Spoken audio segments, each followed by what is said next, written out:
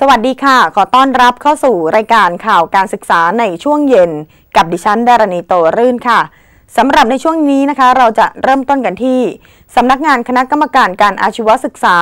ได้จับมือกับกรมโรงงานอุตสาหกรรม เตรียมเปิดหลักสูตรลดใช้สารทำลายโอโซน พร้อมติดตั้งชุดเครื่องมือการสอนการใช้สารทดแทนค่ะ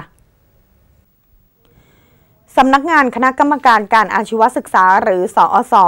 ได้ร่วมกับกระทรวงอุตสาหกรรม โดยกรมโรงงานอุตสาหกรรม ส่งเสริมและพัฒนานักศึกษาอาชีวศึกษา ให้ลดและเลิกใช้สารทำลายชั้นบรรยากาศโอโซน โดยนายสารโรธขอจวนเตียว ที่ปรึกษาด้านมาตรฐานอาชีวศึกษาอุตสาหกรรมกล่าวว่า การลงนามความร่วมมือในครั้งนี้ ทางสอสอจะเป็นผู้ดำเนินการฝึกอบรมบุคลากร และถ่ายทอดองค์ความรู้ให้กับนักเรียนนักศึกษา ที่เรียนสาขาวิชาชีพด้านเครื่องเย็น ระบบทำความเย็นและเครื่องปรับอากาศ ได้เรียนรู้เกี่ยวกับเกี่ยวกับสารทำความเย็น HCFC ที่ใช้ในภาคอุตสาหกรรม แต่เป็นสารทำลายบรรยากาศโอโซน ซึ่งจะต้องควบคุม ลดและเลิกการใช้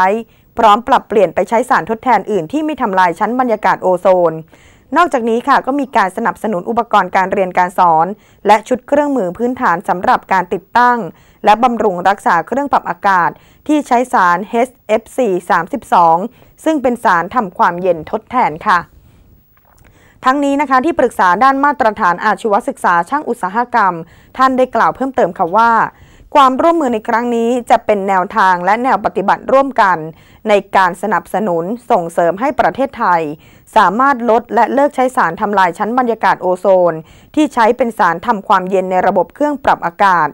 ซึ่งจะเริ่มจากนักเรียนนักศึกษาสายวิชาชีพ ที่เป็นผู้ใช้และเป็นผู้ปฏิบัติ เป็นการเพิ่มขีดความสามารถและประสิทธิภาพ ให้กับบุคลากรที่เกี่ยวข้องกับภาคอุตสาหกรรม เครื่องปรับอากาศของไทย อย่างยั่งยืนค่ะ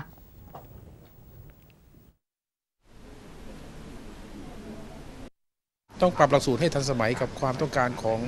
ของประเทศเราอยู่แล้ว ความต้องการของตลาดแรงงานของภาคอุตสาหกรรมอยู่แล้วนะครับ เพราะว่าเราใช้หลักสูตรเดิมในเรื่องของการใช้เทคโนโลยีเดิมเนี่ยซึ่งครูบาอาจารย์ก็ต้องได้รับความรู้ใหม่เกี่ยวกับเรื่องนี้อยู่ด้วยนะครับแล้วก็วิธีการใช้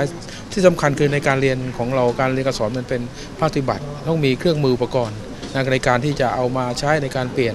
ในเรื่องของการเปลี่ยนสารทำความเย็นจากเครื่องปรับอากาศตัวเก่ามาเป็นตัวใหม่นี้นะแต่ว่าของปัจจุบันไอ้เครื่องปรับอากาศตัวใหม่ก็มีตัวนี้อยู่แล้วอันนี้ตรงนี้ต้องให้ได้รับความรู้ทั้งคุณครูของเราในสถานศึกษารวมทั้งตัวนักเรียนศึกษาซึ่งจะเอาไปใช้ในการไปประกอบวิชาชีพต่อไปในอนาคตได้ เพราะว่าไอ้